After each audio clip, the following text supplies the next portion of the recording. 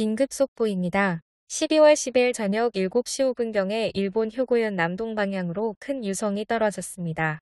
정확히 말하면 이번 유성은 유성보다 훨씬 밝은 유성인 화구입니다. 서양에서는 fireball이라고 부릅니다. 최근 와카야마현 북부에서 9월 1일부터 12월 9일까지 21번의 지진이 발생을 하면서 관서지방의 대지진에 대한 우려가 커지고 있는 상황에서 12월 10일 저녁에 표고현에 큰 유성이 떨어지면서 1995년 한신아와지대 지진이 다시 발생하는 것이 아니냐는 우려가 일본 SNS상에서 급속도로 퍼져나가고 있습니다. 12월 9일 목요일 와카야마현 북부에서 규모 3.5의 지진이 발생을 했었으며 12월 3일에 규모 5.4의 강진이 발생했던 지역과 멀지가 않습니다. 11월에는 1995년 한신 아와지대 지진이 발생했었던 진원지에서 가까운 효고현의 섬인 아와지섬에서 진도 3이 연속으로 발생했었으며 12월에는 진도 1이 와카야마현에서 발생하며 관서지방의 대지진 위기설이 고조되던 상황 하에서 12월 10일 떨어진 큰 유성에 대하여 우려가 커지고 있습니다.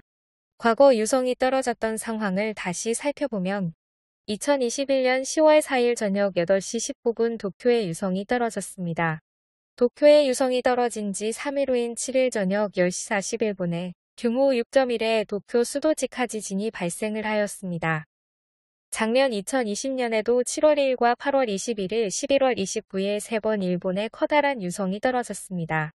7월 2일 유성이 떨어진 이후 5일 뒤인 7월 7일 새벽 3시 9분 9초에 일본 이즈제도에서 규모 5.7의 강진이 발생을 하였으며 8월 21일 유성이 떨어진 이후 하루 뒤인 8월 22일 저녁 7시 31분 22초에 이번에도 일본 이즈제도에서 규모 5.2의 강진이 발생을 하였으며 11월 29일 유성이 떨어진 이후로 약 한 달 뒤인 12월 21일 새벽 2시 23분 22초에 일본 아우모리현 하치노해에서 규모 6.5의 강진이 발생을 하였습니다.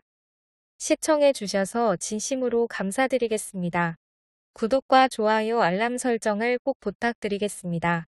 이 채널을 운영하는 데에 큰 힘이 됩니다. 감사드립니다.